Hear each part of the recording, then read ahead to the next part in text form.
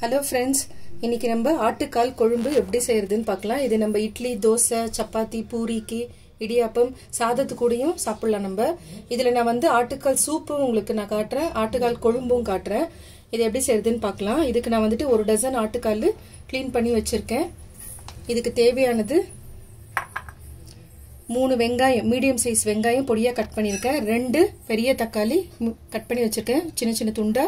கருவேப்பிலை கொத்தமல்லி கொஞ்சம் இஞ்சி பேஸ்ட்டு ரெண்டு ஸ்பூனு பூண்டு பேஸ்ட்டு ரெண்டு ஸ்பூனு மூணு ஸ்பூனு மிளகுத்தூள் எடுத்திருக்கேன் ரெண்டு ஸ்பூன் சீரக பவுட்ரு கொஞ்சம் தேவையான அளவு உப்பு ஒரு ஸ்பூனு மஞ்சத்தூள் எடுத்திருக்கேன். இதெல்லாம் நம்ம வந்து குக்கரில் கொஞ்சமாக தண்ணி ஊற்றி வேக வச்சு எடுத்துட்டு அதுக்கப்புறமா அதை வந்து தேங்காய் அரைச்சி ஊற்ற போகிறோம் ஸோ குக்கரில் நீங்கள் இதை வேக வச்சு எடுக்கிறது வந்து ஆட்டுக்கால் சூப் இருக்கும்.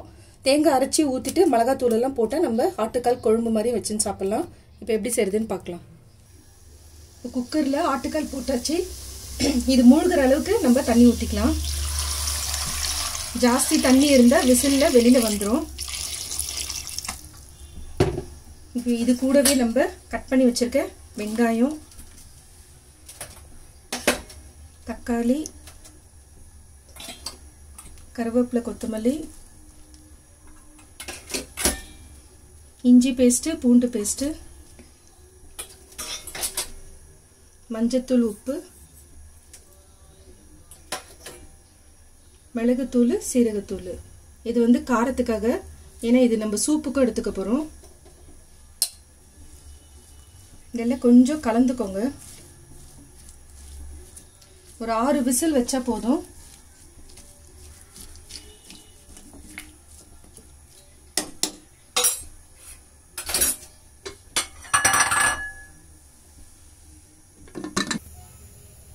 ஆட்டுக்கால் வேகிறதுக்குள்ளே நம்ம கொஞ்சம் தேங்காய் அரைச்சிக்கலாம். நான் ஒரு அரை முடி தேங்காய் எடுத்திருக்கேன்.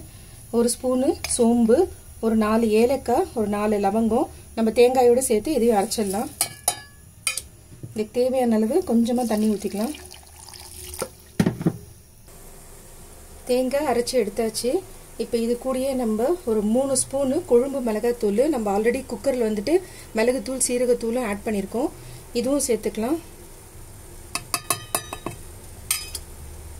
இப்போ தாளிக்கிறதுக்கு வந்துட்டு கொஞ்சமாக எண்ணெய் ஊற்றிட்டு ஒரு ரெண்டு பிரிஞ்சி இலை சின்ன சின்ன துண்டாக கட் பண்ணி வச்சுருக்கேன். பட்டை மராட்டி முக்கு. இது மட்டும்தான் போட்டு நம்ம தாளிக்க போகிறோம் இதுக்கு எண்ணெய் கன்சப்ஷனும் கம்மியாக தான் இருக்கும். ஏன்னா எல்லாமே நம்ம குக்கர்லேயே போட்டாச்சு. வெறும் கொஞ்சமாக எண்ணெய் ஊற்றி இதில் மட்டும் நம்ம தாளிச்சிக்கலாம். சின்னதாக இந்த மாதிரி கடாய் வச்சுக்கோங்க. ரெண்டு ஸ்பூன் தான் நான் எண்ணெய் ஊற்றிருக்கேன் இங்கே பாருங்கள் அவ்வளோதான் இதில் நம்ம இதெல்லாம் போட்டு தாளிச்சிக்கலாம். பிரிஞ்சி இலை. இப்போ இதை தாளிச்சாச்சு. நம்ம குக்கர் ஓப்பன் பண்ணிட்ட பிறகு இதை எடுத்து நம்ம அதில் கொட்டிடலாம். Cooker whistle அடங்கிடுச்சு. இப்போ நம்ம எடுத்துடலாம்.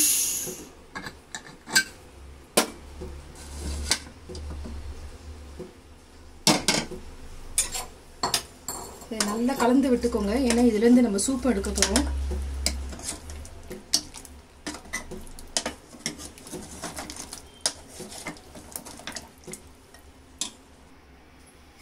நம்ம கொஞ்சம் ஆட்டுக்கால் சூப்புக்கும் கொஞ்சம் எடுத்துக்கலாம்.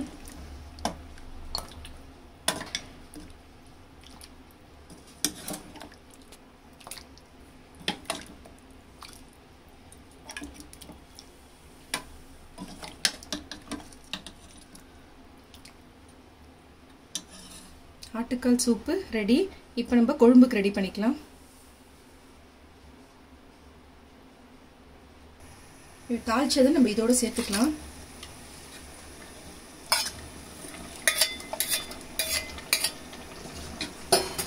அரைச்சி வச்ச தேங்காய் விழுது மிளகாத்தூள் இதோட சேர்த்துக்கலாம். கொஞ்சமா தண்ணி ஆட் பண்ணிக்கோங்க.